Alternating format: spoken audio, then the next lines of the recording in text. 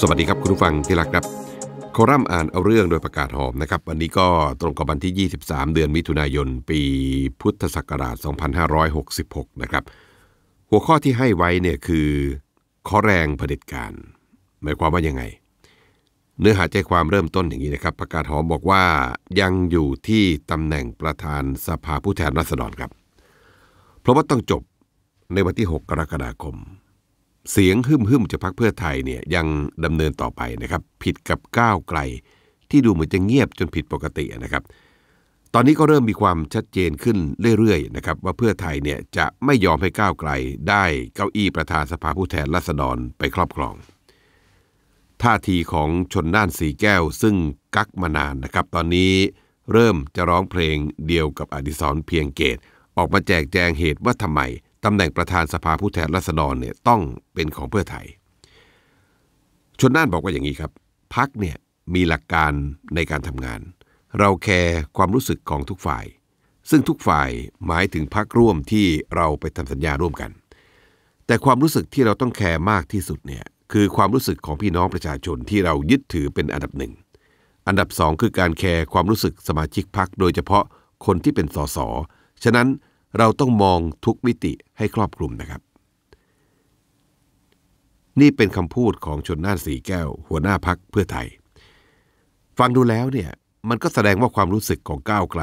อยู่ในลำดับท้ายๆนะครับ ซึ่งก็ไม่แปลกอะไรแล้วครับ เพราะว่าเพื่อไทยเนี่ยเขาไม่ใช่สาขาของก้าวไกลนะครับ แถมยังเป็นศัตรูในสนามเลือกตั้งโดยตรงอีกต่างหาก ส่วนก้าวไกลที่ดูเงียบเชียบ เพราะอยู่ในสภาวะที่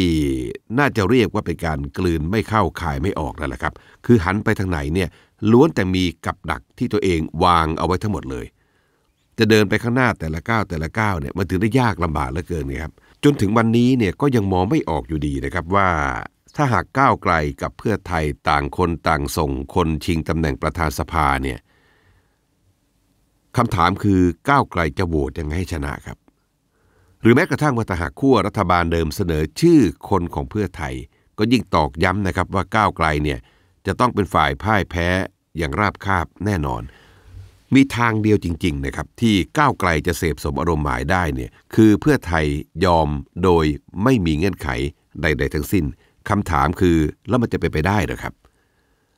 ด่านแรกว่ายากแล้วเนี่ยนะครับ ด่านที่สองนี่สาหัสกว่านะครับ คือทำอย่างไรให้สมาชิกวุฒิสภาเนี่ยโหวต ให้พิธาลิ้มเจริญรัตเป็นนายกรัฐมนตรี หลายคนอาจจะลืมไปแล้วนะครับว่า ช่วงเวลานี้เมื่อสองปีที่แล้วเนี่ยก้าวไกลกับเพื่อไทยเป็นตัวตั้งตัวตีในการแก้ไขรัฐธรรมนูญมาตรา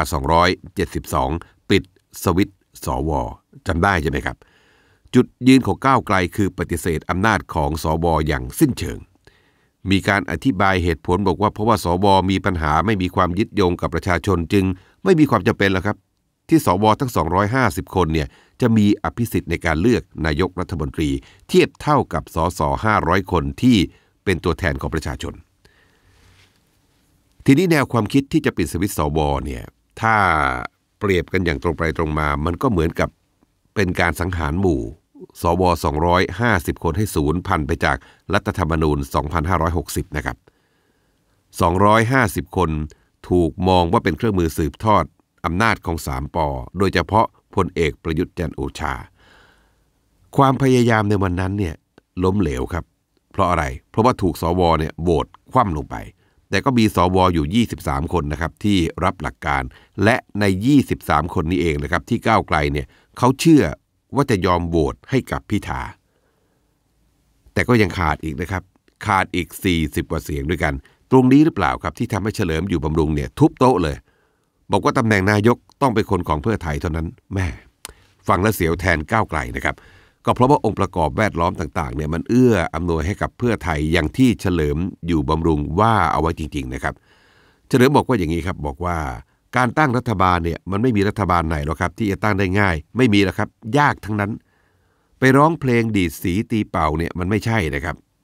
ยังรายงานตัวสสกันยังไม่ครบเลยนี่เพิ่งจะเริ่มต้นแค่นั้นเอง จะมีรัฐบาลจะมีตำแหน่งนั้นตำแหน่งนี้ ขอให้ใจเย็นๆหน่อย คนหนุ่มใจร้อน แต่คนแก่ก็คิดเป็นนะครับ เฉลิมพูดอย่างนี้นะครับ ก็จริงครับ ไม่เคยมีแล้วครับที่รัฐบาลไหนจะตั้งได้ง่ายกว่าการแบ่งเค้กกันลงตัว มีดทื่อไปหลายเล่มนั่นแหละนั่นเป็นกรณีแบ่งขั้วกันอย่างชัดแล้วนะครับ หน้าตาพักร่วมรัฐบาลเนี่ย คงจะไม่เปลี่ยนแปลง แต่ก็ต้องคุยกันนานเพราะว่าต้องแบ่งเก้าอี้รัฐมนตรีกระทรวงต่างๆ ให้แต่ละพักแต่ละพักไปตามสัดส่วน ถ้าเกิดลงตัวเร็วก็จบเร็ว แต่ส่วนใหญ่ต้องต่อรองกันจนวินาทีสุดท้ายนี่แหละครับ เสร็จแล้วก็มาถึงขั้นตอนที่ยุ่งยากที่สุดคือแต่ละพักเอาโคต้าเก้าอี้รัฐมนตรีไปแบ่งกันเองเขย่ากันพักแทบแต่ก็เคยมีมาแล้วนะครับ แต่ครั้งนี้ยากกว่าครับ มันยากตั้งแต่ตำแหน่งประธานสภาผู้แทนราษฎรแล้วนะครับ ถึงแม้ว่าเอาละ พักการเมือง 8พักจะมีการเซ็น MOU กันแล้วก็ตาม แต่ว่าในทางการเมืองเนี่ยยังถือว่าเป็นการรวมตัวกันแบบหลวมๆนะครับ ยังหลวมๆเท่านั้นนะครับ พร้อมที่จะพลิกขั้วได้ในทันทีถ้าหากว่าสถานการณ์มันเปลี่ยน และก็มีแนวโน้มสูงมากทีเดียวที่มันจะเป็นอย่างนั้น ที่บอกว่ายากหรือไม่ง่ายเนี่ยมันเกิดจากสิ่งที่ก้าวไกลทำมาตลอดช่วง 4 ปีที่ผ่านมานี้แหละครับ ก็อย่างที่เห็นนั่นแหละครับ ก้าวไกลเคลื่อนไหวอย่างหนักกับการปิดสวิตสวในการปราศัยเลือกตั้งที่ผ่านมา ก็ปิดสวิตสวหยุดการสืบทอดอำนาจ3ปอแทบจะทุกเวทีเลย ต้องพูดแบบนี้พอมาถึงวันนี้เนี่ยการจะเข้าไปหาสวของก้าวไกล มันก็ไม่ต่างไปจากการกลืนน้ำลายตัวเองนะครับ ห้ามหันเขาแต่เป็นแทบตาย จะปิดสวิตสวให้ได้ แต่ปิดไม่สำเร็จพอถึงเวลาที่สวจะมีประโยชน์ กลับจะใช้ประโยชน์จากสว ถ้าเป็นอย่างนี้เนี่ยนะครับในแง่อุดมการเนี่ยถือว่าใช้ไม่ได้ครับ ย้อนกลับไปดูข้ออ้างที่จะปิดสวิตสวกันสิครับ ก้าวไกลเนี่ยให้พรเอาไปเยอะเลยนะครับ เช่น เป็นสมุนเผด็จการบ้าง เช่น ไม่ยึดโยงประชาชนบ้าง เช่น เป็นปรสิตทางการเมืองบ้าง เช่น ตัวผลานภาษีของประชาชนบ้าง สรุปคือวุฒิสภาเนี่ยในสายตาก้าวไกลแล้วมองว่าเป็นองค์กรที่ไร้ประโยชน์อย่างสิ้นเชิง แต่มาวันนี้เป็นยังไงครับ ก้าวไกลกลับต้องการให้สมุนเผด็จการ ก้าวไกลกลับต้องการให้ประสิตทางการเมือง มาช่วยยกมือโหวตให้พิธาได้เป็นนายกรัฐมนตรีหน่อยนะครับ นี่แหละครับก้าวไกลครับ ถ้าจะบอกว่าจนถึงตอนนี้มันก็สายไปเสียแล้วเนี่ย คงไม่ผิดสักเท่าไหร่นะครับ ลองกลับไปอ่านนิทานชาดกชื่อว่าโคนันทวิสารดูก็แล้วกันนะครับ